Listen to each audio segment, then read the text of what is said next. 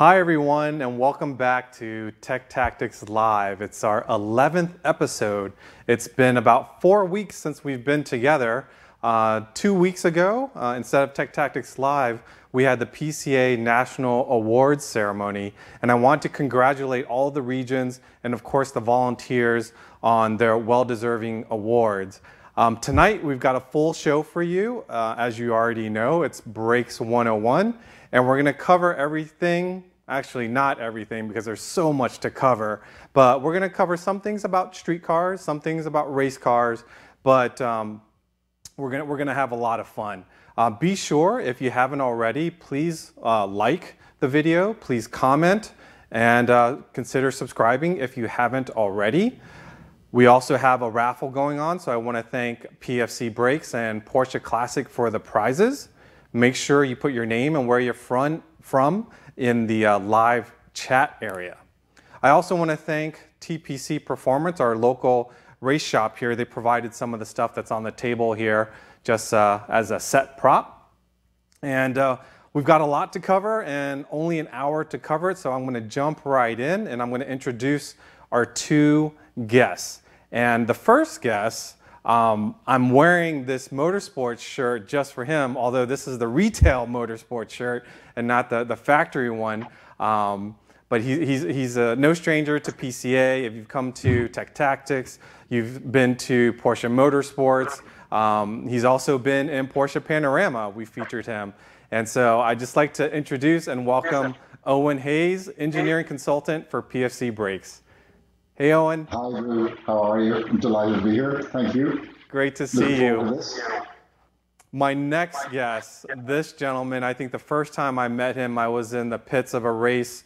Um, walked into a trailer because they said, You've got to meet this guy. He is just a guru when it comes to everything brakes, and he's really a strategist. But I think his official title is Director of Motorsports for PFC Brakes. And you'll see him at IMSA, you'll see him in Indy, you know, he's, he's a walking encyclopedia of everything brakes. He comes to Tech Tactics.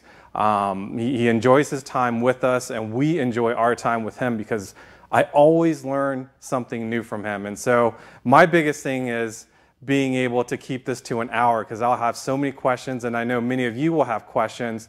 Make sure you put your questions in the live chat. We'll get to some of them.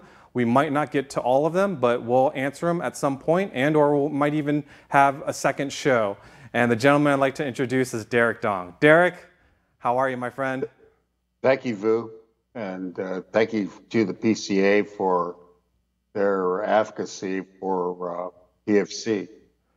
Well, you, um, you've always been there for us when we have tech tactics, either east or west. Um, anytime we have anything related to, to brakes, you're there. I just want to share a quick story with brakes, my personal story about brakes, and then we'll get into the agenda here. Is um, you know I came from maybe let's call it hot rod world and about big engines and going fast quarter mile cars back in my my high school and college days.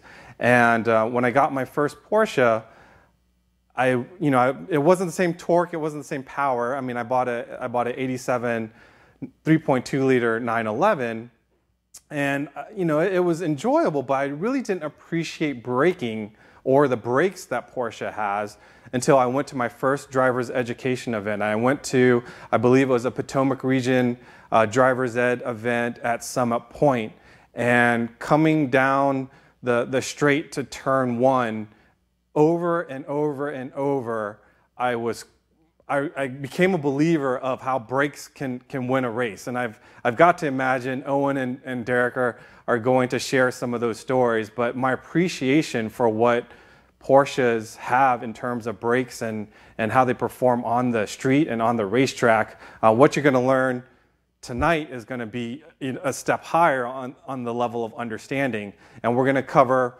uh, four areas. We're going to cover brake pads, we're going to cover ABS, we're going to cover PCCB, and we're going to cover brake fluid. And I know there's a lot more in terms of brakes, but again, we have an hour, and we'll start with these four, four topics. And, and if more questions grow uh, in the chat, we'll, like I said, we'll consider a, a, a, maybe a brakes 201 in the future.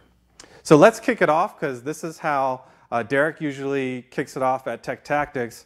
Why don't we show this video that he submitted? And Derek, you can walk us through what we're watching. What, what we're watching right now is uh, track test. And it is probably one of the toughest tests that you'll ever hear of. This dyno is spinning up Porsche uh, brake system to 160 miles an hour down to 60, pulling a 1.6G stock. Now the the uh, protocol for this particular disc track test is we have to do this 600 times without having any thermal failure of the, the disc itself. Now, the first time we did this test, it took us about three or four different iterations before we figured out how to get 600 stop. And it was everything. Geometry of the disc, alloy of the disc, geometry of the brake pad, the force distribution through the caliper, and uh, the, the, in fact, the dyno that you're looking at is one of the few dynos in North America that is capable of doing full lap simulations of uh, Daytona, 24 hours of Le Mans, uh, various different tracks. And uh, what's what got us the uh, the only North American supplier to Porsche Motorsports was this disc track test. And uh, within about five uh, iterations of the test, we actually ran the thing live uh, for Germany to actually view on a thermal camera and on a live camera. And they got full data streaming as to the uh, robustness of the stock. And uh, we actually uh, met the 600 stop threshold. We got a call from Porsche congratulating us on uh, our achievement. And then they asked us, how'd you do it? And uh, come to find out, none of the suppliers at the time had ever passed that test. And of course, PFC with uh, you know us being a bunch of rednecks out of South Carolina, we didn't know any different. So that's how uh, uh, you know basically we didn't know we, we couldn't do it. Wow. So let's jump right into brake pads. Um, but I know there are you use a lot of different terminology. I've seen your your uh, your presentation before. So if we can bring up the racing pad terms, maybe you can just hit a couple of high points of what you're talking Okay, about. so one of the things, brake pads have multiple elements in them. And by today's standards, uh, we have to be very environmentally friendly nowadays. And uh, back in the early days, the brake pads were some pretty nasty components inside the friction material. But with a PFC carbon metallic brake pad, the behavior of the pad actually has to be built into the matrix of the of the formulation of the, of the pad itself. So the term bite is the initial response when you hit the brake pedal. There's cold bite, there's hot bite, but bite basically is the initial response of the of the brakes itself. Torque is the amount of longitudinal G that the brakes are actually pulling. And we can build more or less torque into the brake pad depending on what we're trying to achieve to get the balance in the car uh, that we're looking for. Mu is uh, is just a term for the coefficient of friction, and for the most part, there's some people that advertise their mu number. We do not, because we believe that much of that is just marketing information. We did have a quick question, not to interrupt you, but um, people were asking about uh, proper bedding of, of brakes? Can you give me a quick one on that one? Uh, Fred 3, what is the process to bed in new rotors and pads, and in this case, an 87 911 Carrera? Okay, so the, the, first thing you have to, if, if it's with a PFC pad, the PFC pad actually has a, a heat treat process in our brake pads that makes it very easy to, to bed in because there's virtually no uh, low density volatiles left into the brake pad to, to bed. The key to bedding brakes is actually the cold effectiveness of the disc. Remember that most of these OE discs are manufactured in a, a process that uses a lot of cutting oil and uh, silicate uh, as part of their lubricants while they're cutting them. And the problem with cast iron is it's absorbing all those silicate during that process. So the green effectiveness is in the disc itself. And you want to bring the disc up prudently in an effort to reduce the stress that's already in the disc and also to gas off contaminants that are in the disc after they went to form the disc itself. So on your um, out lap, uh, you want to do left foot done. Basically, you train the brake pad to this itself, get a transfer layer of brake pad material. Understand that most of the materials that are in a brake pad nowadays, it's not actually friction-based material it's lubricant. And reason why is uh, don't want to have the brake pad literally micro weld itself to the disc. So once you get this transfer layer into the disc, the, the goal is to get the disc up to about 300 C or about 450 N to try to gas off these uh, low, uh, low density volatiles in the disk and bring up the disk's temperature prudently. This reduces a lot of stress to the disk itself. And so after you've done about five laps, you bring the car in, you check your air pressures and things like that, and, and then allowing the disk to cool will help reduce much of the stress that you put into the disc itself. So for the most part, running a carbon metallic pad, you not actually have the bed pad, but you're trying to bring the disc up to temperature prudently. Cool. Thank you for that. Um, Owen, why don't you help me with our first true and false for tonight? First true and false has to do with, let's see if we can get up there. Do, do, do. Majority of brake dust comes from brake pads. True or false? Let's give people a, a, a second or two to put in the answer. Majority of brake dust comes from brake pads. True or false? Owen, let's let people know. False. It's false. Correct.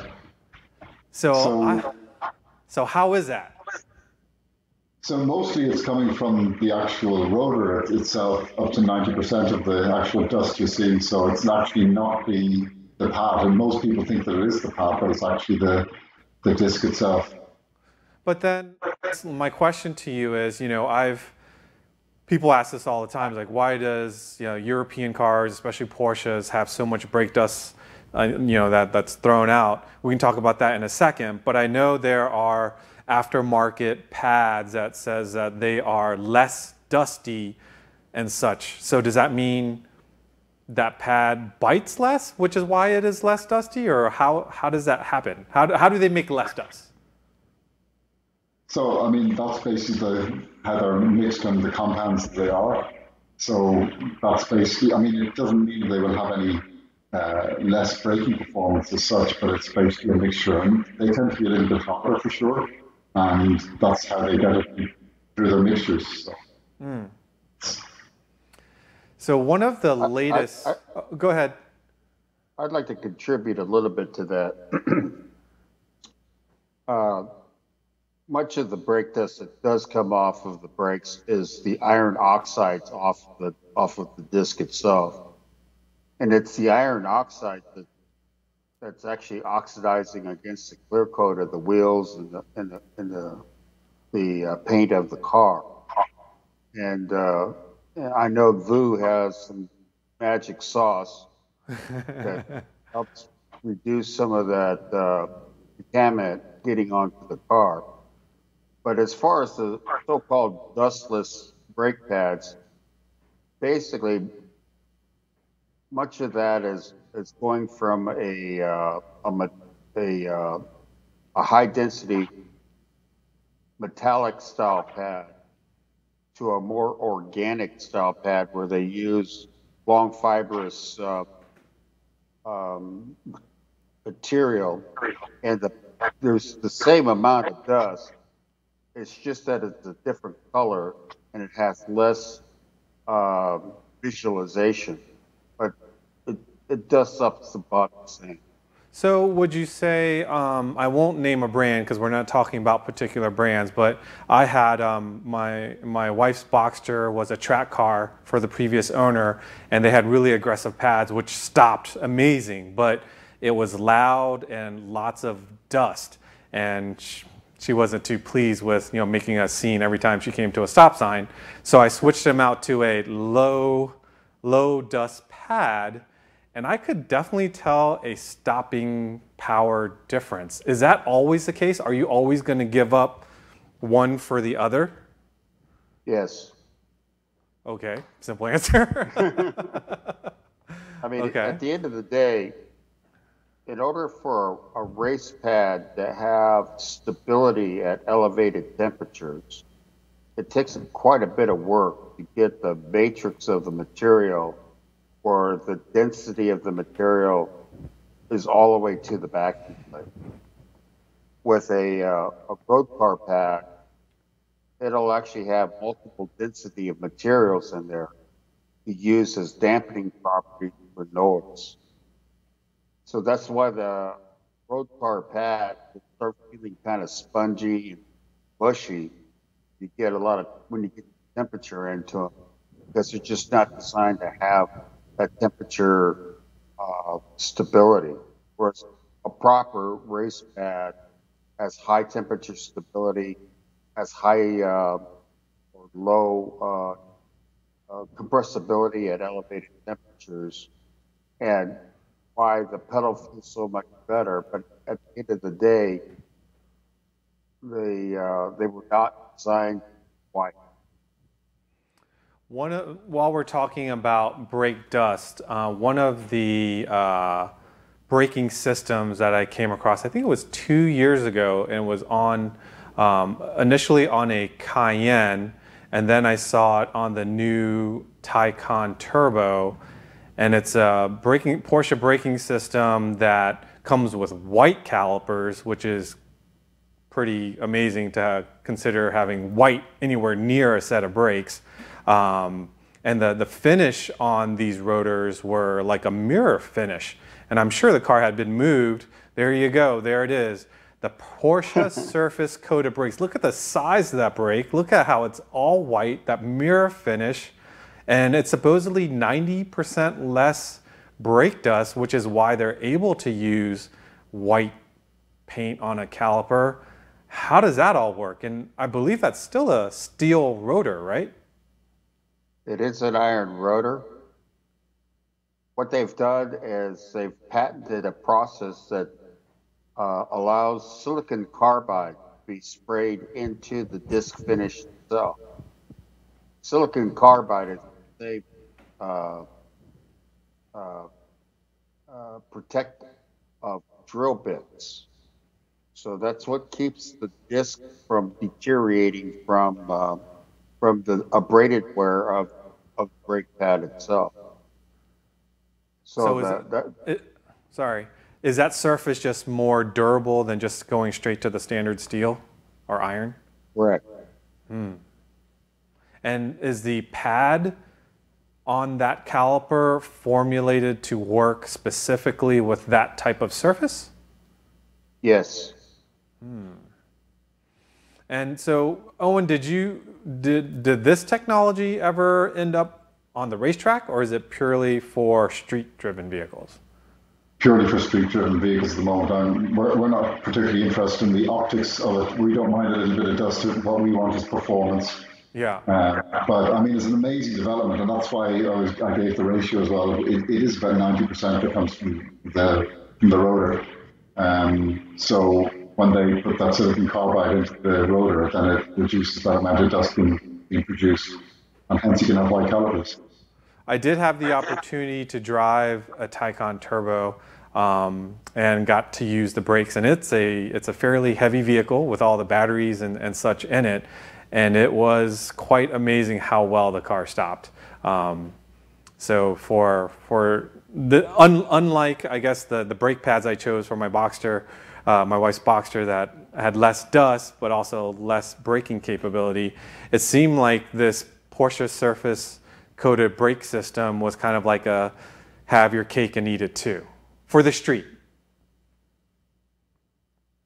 So it is Owen, actually. I'm sorry. Go ahead. Uh, it is actually. I mean, you think about uh, silicon carbide is also what they use for rotary cutters. So it, it, it adds to the to the whole friction process. And obviously, because it's more effective and efficient, it doesn't have as much abraded wear as a standard iron disc and pad. So it's a it's, it's very clever uh, utilization of a technology that's been around for so it was five decades. I first saw it on the Cayenne, and then I recently saw, or last last November, I guess it was, I saw it on the Taycan. So I guess maybe it'll make it into the sports cars. Would you guess, or can you say, or? actually, we've we've actually tested these this material. It did a 24-hour uh, Le Mans simulation on the disc just to see how durable the thing really was.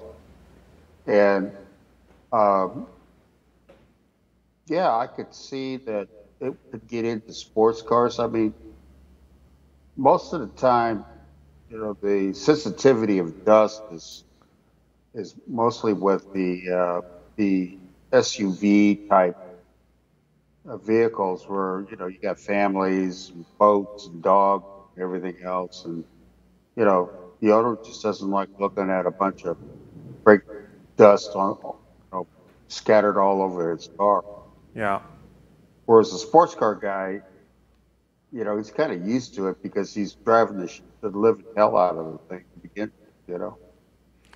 So let's go back to Owen with all-out performance because you know Porsche Surface Coated Brake. You're not worried about the wheels being dirty. In fact, you probably wear the the brake dust on the wheels as a badge of honor of uh, uh, when it comes to racing. So, race brakes versus street brakes. What's the difference? Is it compound materials? What do we need to know there? Yeah, I mean it's it is materials and compounds. For sure the compounds are just pure racing compounds in the sense of, of what Derek said earlier on is there's many layers to a, a road brake pad, but normally there's only a, a, a third of uniform compound mix on a race brake pad. And as Derek said also earlier, is the idea is to get that up to a temperature that gives you consistent properties because the driver needs that feedback and that consistency to be able to attack a lap in a consistent manner to put in a really um, stable lap time stint. And it's all about pushing the car to the limit and keeping the car that limit. So if the race, if the racing brake pad or brake system uh, alters its performance, that's the last thing that, that that driver needs. So does the environment of the racetrack um, I guess, dictate different types of race pads or race components? Like if it's going to be cold and rainy versus hot and dry? Yeah, well, there's a very open question. There's many, many things that, that we do. I mean, nowadays we have the cars are now homologated, which means you have to give the car uh, details up to the organising body and say this is what we're going to drive. So you're basically stuck with the same type of rotors through the whole year. However, we replace those on a regular basis. But the brake pads are completely free for the, the compound that you choose. So that is something that we use to tune the car and quite effectively. And we not only have different compounds, but we also have a different type of pad in the sense of that we have sprint brake pads and also endurance brake pads.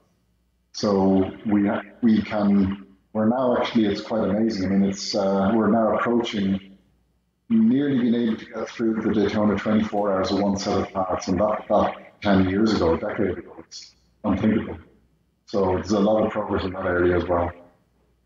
We have a question from Stephen Williams.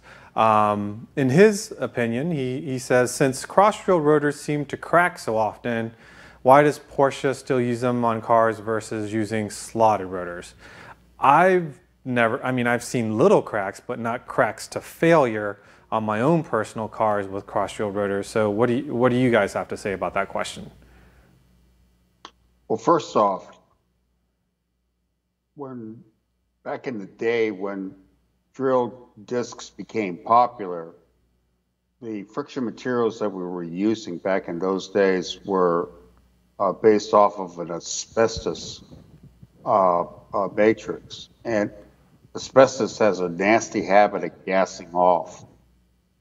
So the drill disc was developed in order to get rid of some of the, the boundary layer that the gassing off of the uh, of the brake friction materials back in the day. So when Porsche started running drilled discs, it soon became part of the brand. And if you ever look at a Porsche drilled disc, you'll see that it has a very unique pattern to the drill uh, shape, in that none of the none of the holes are actually lined up with each other which is a very unique uh, layout. And then uh, when when when drill discs were very popular in racing, the shape of the hole, chamfer of the hole, and how Porsche would would work hard in the hole would actually reduce the cracking as opposed to um, creating more stress rise like today's uh, uh, OE and aftermarket discs do.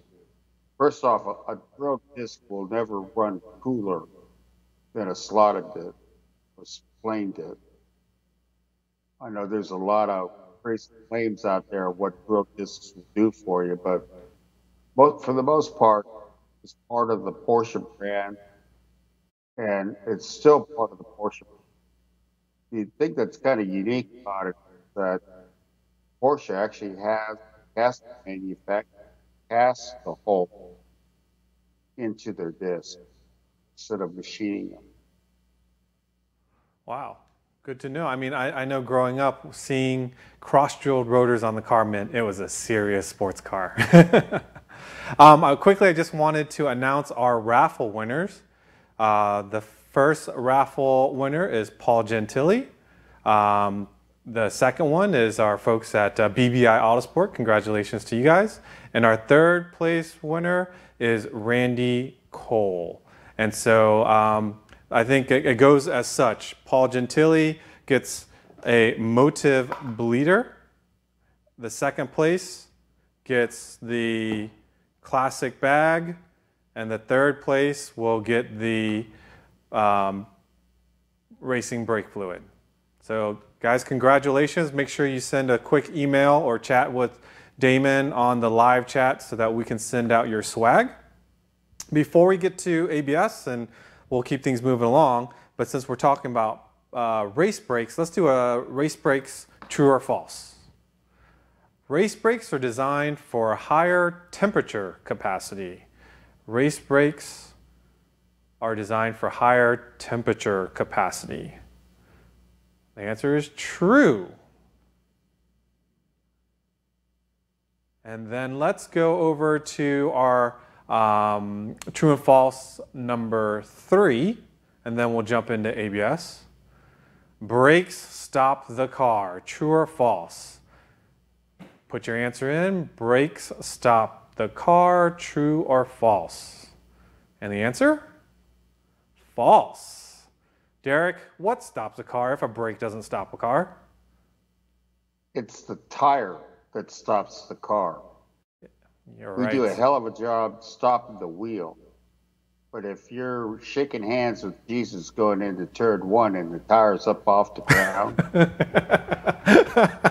you're going to still hiss that wall pretty hard. And this is why we love Derek so he tells it like it is.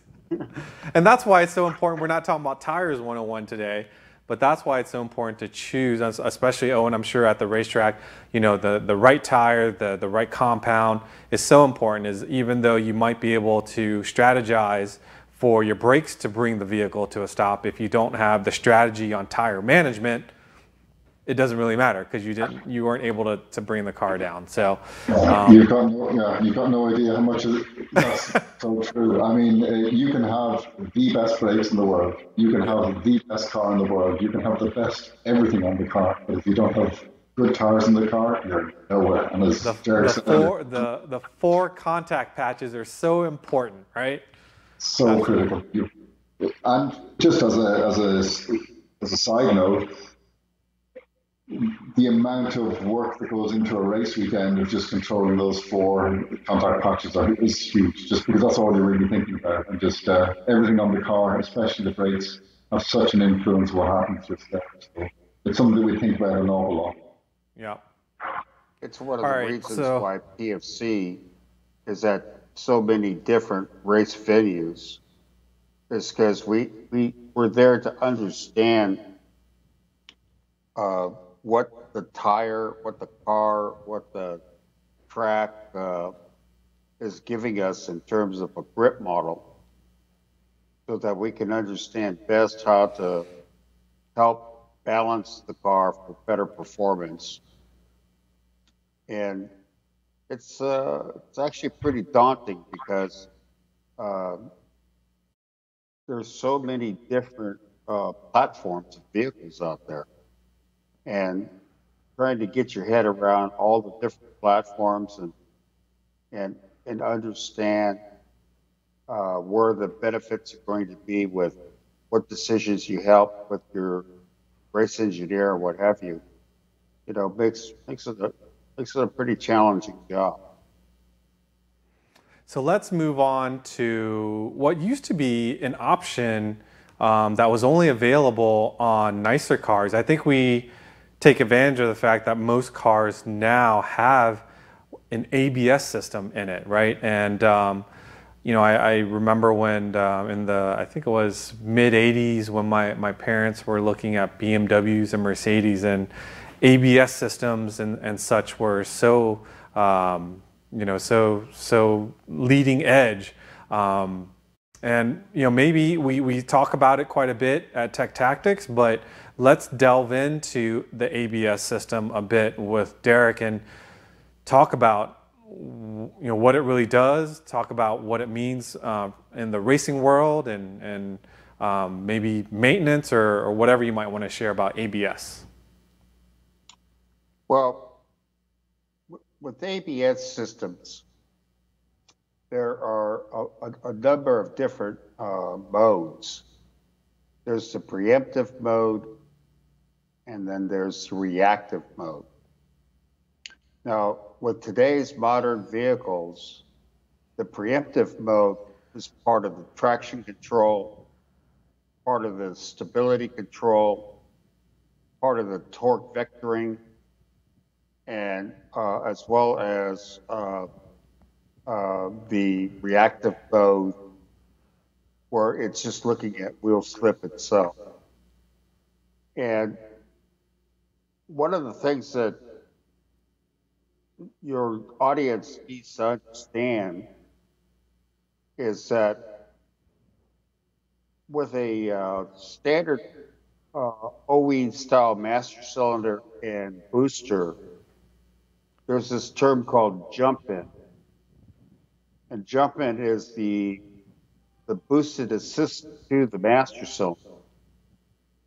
And if you look at the top of the booster can, typically there's a TRW sticker that's got a uh, anything from 3.14 to 5.5 number on the booster can. The bigger the number, the bigger the jump in, the easier it is to lock. The smaller the number, the firmer the brake pedal, the more feel you have for the lock, which is why a GT3 RS, for instance, have a 3.4 um, booster in their car, and uh, like the a Boxster will have as high as a 5.5 uh, jump in with their booster. So the key to understanding preemptive mode is that the ABS is always looking at longitudinal G over speed over time uh, versus the program grip model within it. So it'll actually pull pressures out of the system as a preemptive mode to protect the tire. And you can actually feel in, in, in your seat when you first initially apply the brake pedal, you can feel the car tend sit down under braking because it's utilizing both the front and the rear uh, grip equally at that point. But at about the second half of the stop, it starts pulling rear pressure out to get the stability into the car. And that's when the nose of the car heaves over to the, to the front and you feel it instead of in your butt, you feel it in your in your shoulder blades because of the weight transfer. So this automatically adds understeer to the car. So it's understanding what the ABS preemptive mode is actually doing uh, car uh, to help gain an appreciation of how to take most advantage of. Once it goes into preemptive mode, then it starts looking at wheel slip, which is the reactive mode of the ABS. So once the tire starts to slip, it'll start pulling pressure out of each one of the quarters that are actually beginning to lock. And of course, do that, think about it. If 90% of the tire is being consumed by the stop, you only have 10% of the tire yet to allow the car to or accelerate. So ABS is a, a, wonderful tool, but it could confuse a lot of track day people because it's not always mm. a non-ABS car intuitive. You, you can feel and and modulate where the weight transfer is dancing in the car, whereas an ABS car is keeping it at that threshold grip all the time. So, Owen, would you say it's true that an ABS equipped car takes a mere mortal driver to a higher level than if that same person were to drive a non ABS car? And then if you are a super driver, that maybe the ABS can be a hindrance because it's not doing exactly like what that super driver wants it to do? No, I think the way that so the modus, motorsport tends to, or we have a slightly different mapping in the ABS, so it it's not doesn't really react as I would say slow as a road car ABS. Um, so now, you know, it is more challenging to drive a car that is without ABS, let's say. Um, but the ABS systems have become so advanced now that you know I think it's really helped drivers in general. But the super driver, to be honest, he's still um, confronted with that issue of trying to push the brakes to the you know to the absolute limit as well and get that feedback on the last bit of braking before opening and releasing and then going into the corner. So it's still that the super driver will need that talent, let's say, or that that that uh, feedback that he has just naturally, and then the middle driver can certainly help him, but the the car without the ABS, that's a challenge for everybody. And it's uh, again, it's the, the natural talented guy uh, separates himself from the average guy. So yeah, it's, it's I think ABS really. It's more about having a you know a, a, a belt and braces thing. You know you have ABS, so you tend to be a little bit braver as well. So it doesn't mean that you're going to be any better off. You still got to be driving the car properly and braking properly. It gives you that a lot more confidence. So how different is, let's say, the GT series, um, you know, GT4, GT3 series street cars, um, their ABS systems compared to, a, you know, uh, the club sport cars? Is there a difference in tunability? Um, Maybe just the mappings, the way that it reacts, just the speed of reaction. Um, mean, the ABS are, are basically the same. It's, it's mostly the soft, some of the, the value that is slightly different. Uh, mainly it's All right. Well, thank you for that. Let's go on. We're at uh, 8:43, so we still have two more topics we're going to go through here, but they should be pretty quick. Um, the next one, let's do true and false number four. True and false. Number four, PCCB rotors are brittle like a porcelain plate. PCCB rotors are brittle like a porcelain plate. Put your answers in the chat, please. And the answer is true. They are brittle, but you really have. We, we will we'll answer this and, and, and expand on it. And, and, Derek, you'll you'll expand on it. Um, you know, PCCBs is like the best option for a, a, a Porsche braking system, right? We talked a little bit earlier about steel brakes, and then we talked about Porsche sur surface coated brakes, which is kind of the mid range, and then the Porsche ceramic composite brakes, the PCCBs, are the the, the top level um, that that Porsche offers. So it's we say it's brittle, but for what it's doing and the advantages of PCCB, maybe Derek, you want to kind of get into why it's the top choice. Well, it, I don't know that I would call it a, the top choice, but it is a a very advanced material in that how durable it is. Now, it actually starts off as uh, powdered uh, carbon and resin, and it molded, and uh, it gained its shape and uh, in its form. form excuse me. But you can see in this particular uh, illustration that the PCCB is is is basically a uh, a molded structure, and that it's heated to you know about 500 C to form this thing.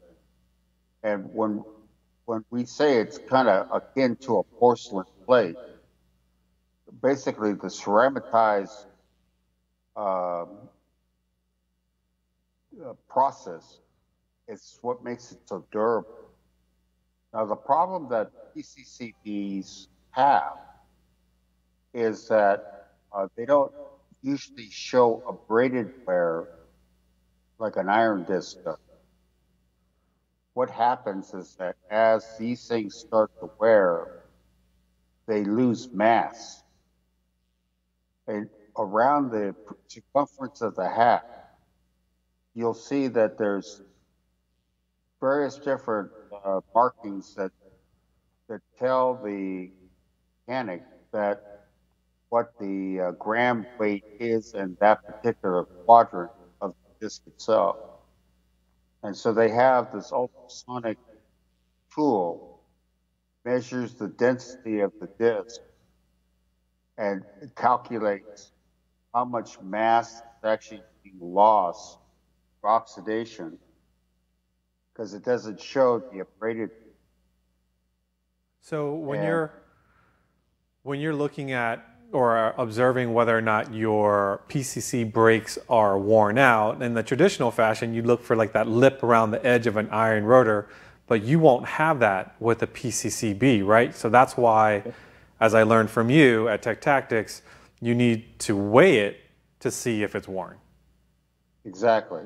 And, Yeah. and uh, the other thing, too, is unlike an iron disk or a carbon carbon disk, a PCCB disk literally reflects the energy, it doesn't absorb it.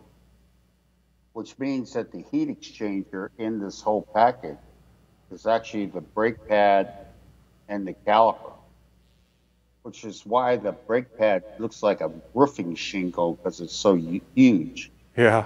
Because it's part of it, it is the heat exchanger in the system, and it's also the reason why these bright yellow calipers turn to a burnt orange color during track day event uh, with the with the temperature that the PCCBs.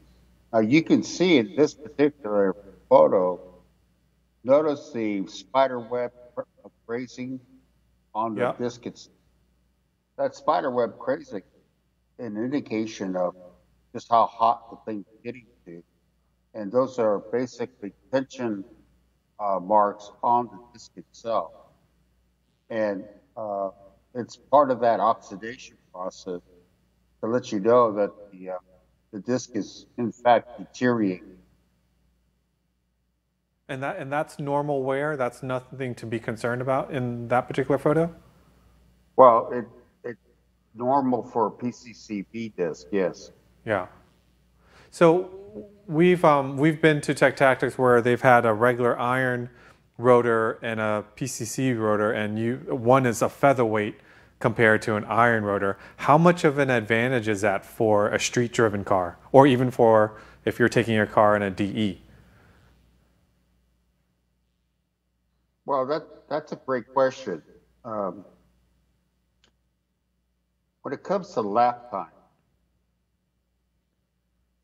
you know, typically the engineers are always looking to reduce weight, particularly on the sprung portion of the car. But if you get better consistency in your braking with an iron brake, typically the lap times don't show a whole lot of difference between the two.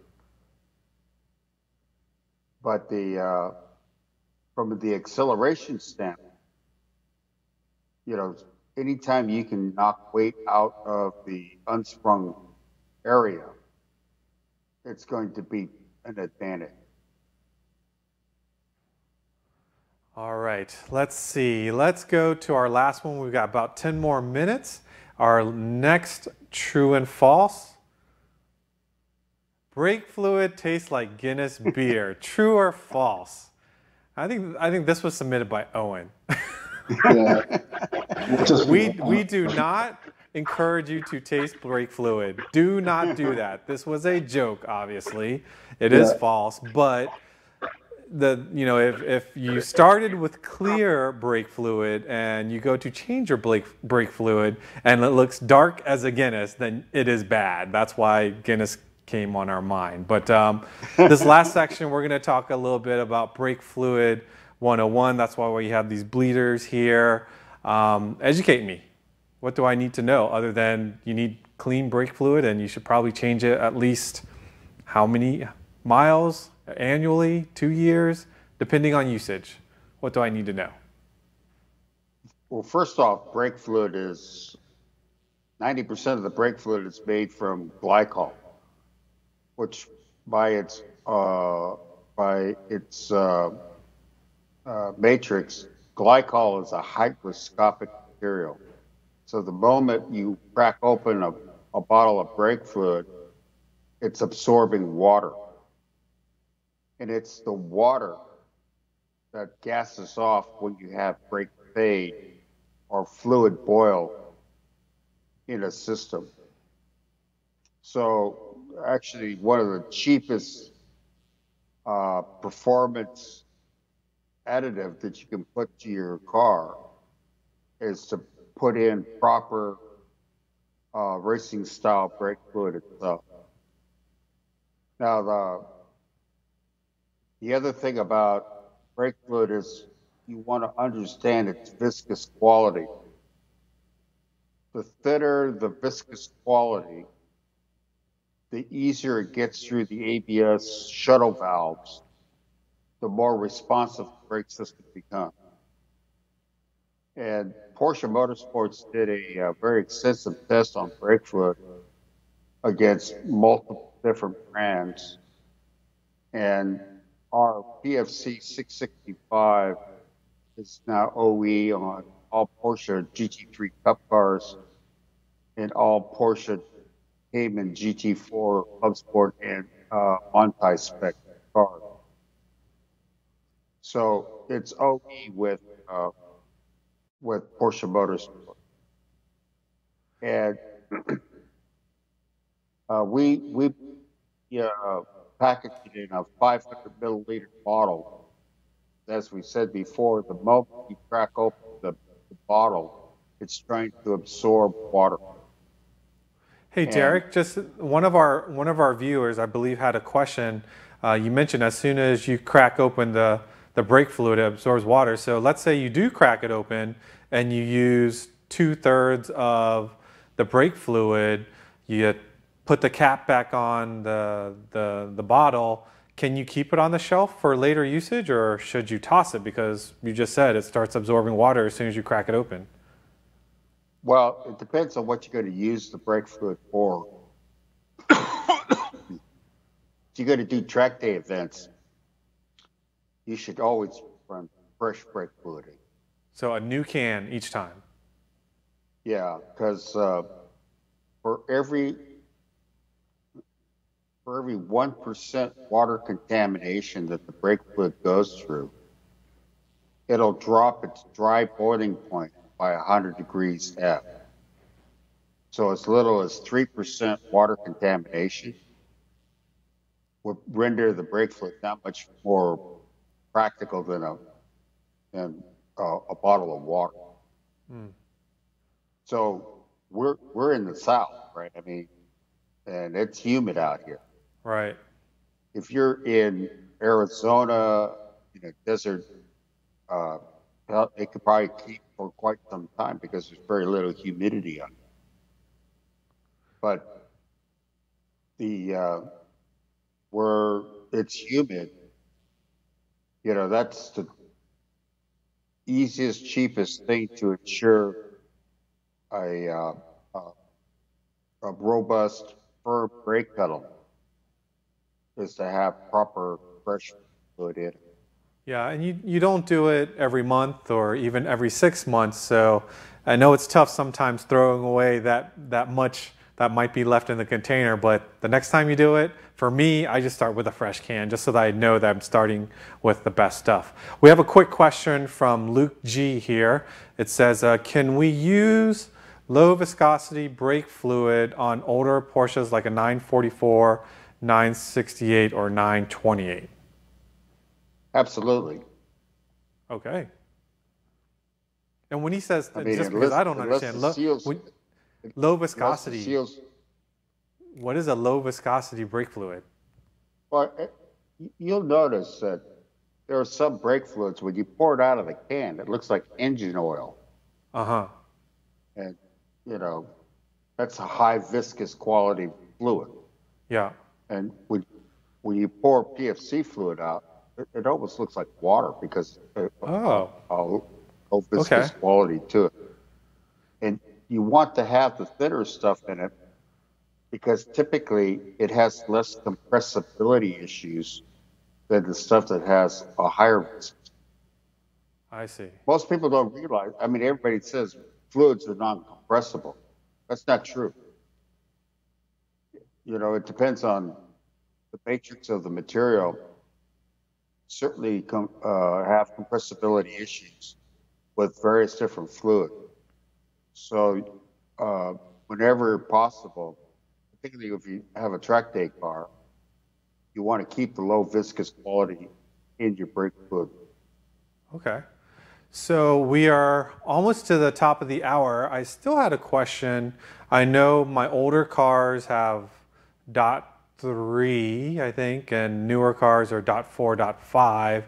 Like, how does that all work? I mean, I just know if it says whatever it says, put the same in it, but can you put four into three or I don't know. I, that I just stick with whatever says on the, the top of the, the reservoir. But but for those that are wondering, can you mix and match, or should you even mix and match? Dot three, dot four are all glycol-based brake fluids, and it's when the dot rating is actually more of a shelf life value. Oh. So the higher the dot number, the less glycol, the more ester it has in the brake fluid. And it's the ester that adds that viscous quality to it. Now, uh, dot five is pure ester. Okay. Which is, uh, it's fine for vintage cars or something that you're going to store. But you don't want to race on that stuff because it gives you a really lousy pedal. Hmm, I gotcha. So you can't mix dot five with anything with three and four, but you can certainly uh, use. Uh, of course, we always recommend that you exchange all the fluid that's in the system, so that uh, you have uh, similar behavior to the to the fluid that you're, you're putting into the system. So whatever you're putting in, just make sure it's consistent fluid throughout the whole system. All right, one more question that I had, and I promise I'll let you go. So for my 87 911, when I do the brakes, it's very straightforward because there's no ABS. Flush the flush, uh, flush the the fluids, no problem. The Boxster has ABS. I still flush it the regular way, but is there do I need to do something with the ABS to properly flush it, or I've, I've always told you you're supposed to cycle the ABS or something, but I don't have a tool to cycle. So by me doing it the manual way on a car that has ABS, is that a bad thing, or is that still good, or? Uh, that's a great question.